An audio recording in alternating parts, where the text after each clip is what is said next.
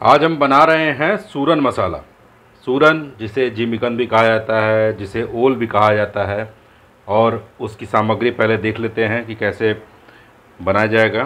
पहले मसाले देखते हैं, ये साबुत मसाले हैं, जिसमें हमने थोड़ी सी दालचीनी ली है थोड़ा सा सौंफ लिया है, दो इलायची ली है छोटी, और थोड़े से काली मिर्च और लौंग, दो लौंग लिया हमने।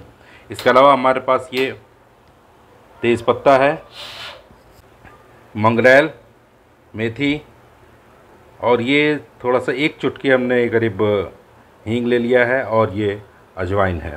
तो ये सारा कुछ हम शुरुआत में डालेंगे। इसके अलावा हमारे पास ये कुछ मसाले हैं जो पिसे हुए मसाले हैं। इनमें हमारे पास ये हल्दी है ये धनिया है हमारे पास जीरा मसाला है ये हमारे पास सब्ज़ी। मसाला है और ये गरम मसाला है हमारे पास।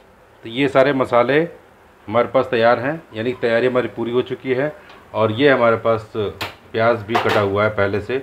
ये हमने करीब तीन मीडियम प्याज, बड़ा, लंबा लंबा काट लिया है। तो ये तैयारी हमारी पूरी हो गई है। एक चीज़ मैं बताना भूल गया था, ये लहसुन अदरक का पेस्ट भी है हमारे पास। ये लहसुन अदरक का पेस्ट भी उसमें जाएगा।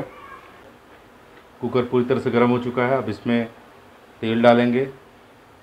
हालाँकि ये हम अंदाजे से डाल रहे हैं, लेकिन करीब करीब डेढ़ टेबल स्पून इसमें तेल गया है 1.5 टेबल स्पून।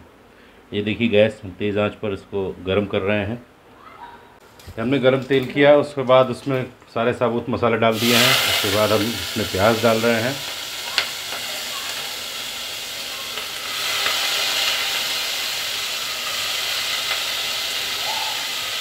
इसमें प्याज को आपको बहुत ही अच्छे तरीके से तरीके से भूनना है।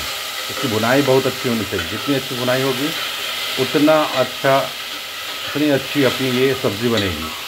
इसलिए भुनाई पर ज़्यादा ध्यान देना है। भुनाई अच्छे से होनी चाहिए। कम से कम 10 मिनट तक हम इसकी भुनाई करेंगे।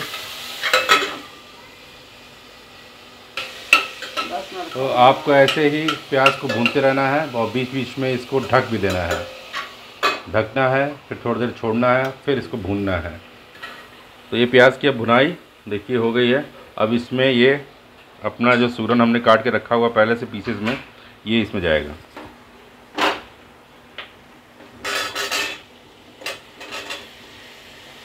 इसको इसमें डालने के साथ ही आपको अच्छे से मिक्स कर देना है और वैसे ही धीरे धीरे बीच बीच में भून, भूनते रहना है और ढकते रहना है।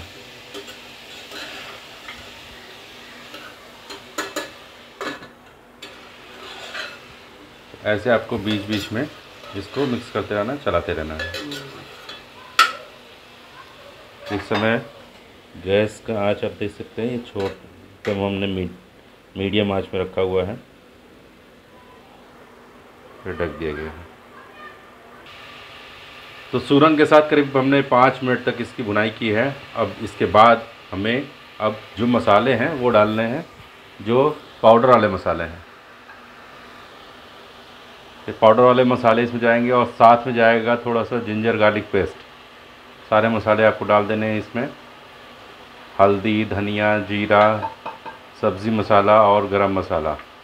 और साथ में ये जिंजर गार्लिक पेस्ट करीब एक टेबल स्पून। अब इनको इसमें मिक्स करना है। लेकिन उससे पहले मसाला डालने के साथ ही इसमें नमक स्वाद अनुसार नमक डाल दीजिए। और इनको फिर से वैसे ही मिक्स करना है और थोड़ी देर फिर से हम इसको भुनाई करेंगे इसकी, ताकि मसाले अच्छी तरह से इसमें भुन जाए। मसालों में जो ऑयल होता है, वो थोड़ा बहुत इसमें से निकल जाए और सब्ज़ी में पूरी तरह से अच्छी तरह से भिन जाए, ताकि उनका टेस्ट अच्छे से पूरे सूरज की सब्ज़ी में भिन जाएगा।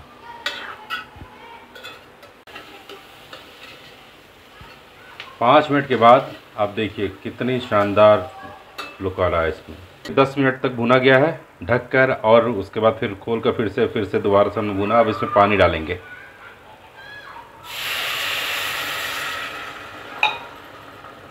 अच्छे से पानी डालने के बाद इसको मिक्स करेंगे।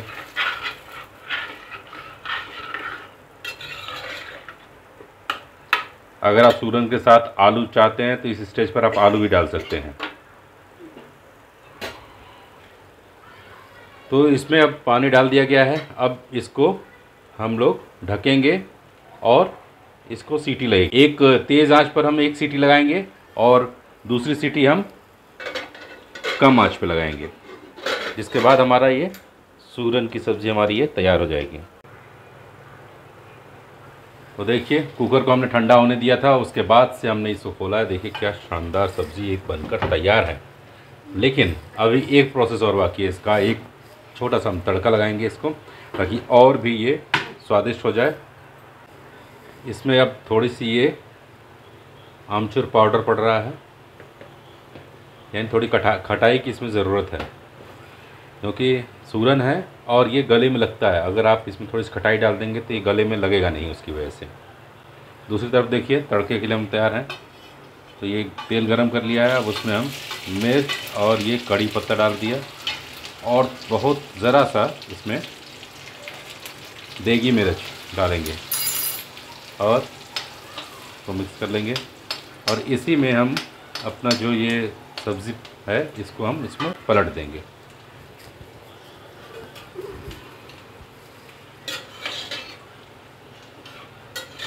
ये पूरी पूरी पूरी सब्ज़ी जो है, इस कढ़ाई में पलट दी जाएगी। ये देखिए। वाह।